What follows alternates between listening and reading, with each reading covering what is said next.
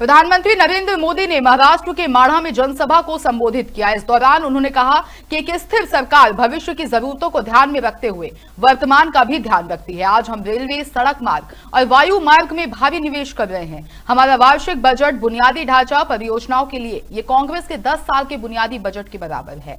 PM Modi ने कहा कि विकसित भारत के निर्माण में महिलाओं की बहुत बड़ी भूमिका है। मोदी ने महिलाओं को सशक्त बनाने में कोई कसर नहीं छोड़ी। पिछले दस वर्षो में हज़ारों महिलाएँ स्वयं सहायता सहायता समूहों में शामिल हुई हैं। वर्षों से महिलाएँ गाँवों के तेजों से विकास में योगदान दे रही हैं। हमने एक करोड़ महिलाओं को लखपति दीदी बनाया है और भारत में जल्द ही तीन करोड़ लखपति दीदी होंगी। और ये मेरी गारंटी है।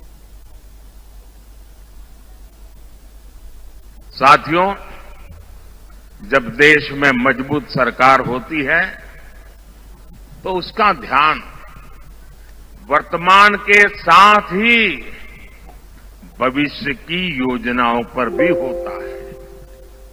यही सोचकर आज भाजपा सरकार रेल, रोड, एयरपोर्ट पर अभूतपूर्व खर्च कर रही है।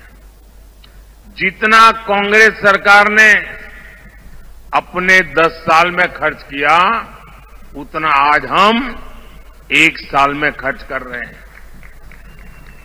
तभी तो आज आप हर तरफ़ आधुनिक इंफ्रास्ट्रक्चर देख रहे हैं। इसका सीधा लाभ भगवान विट्ठल की इस धरती को भी हो रहा है। यहाँ पालखी मार्ग हो, रेलवे का काम हो, एयरपोर्ट का काम हो, ऐसे हर काम पर महायुति की हमारी सरकार तेज़ी से काम कर रही है। भाइयों और बहनों महाराष्ट्र की जनता जब प्यार देती है, जब आशीर्वाद देती है तो कोई कसर नहीं छोड़ती है।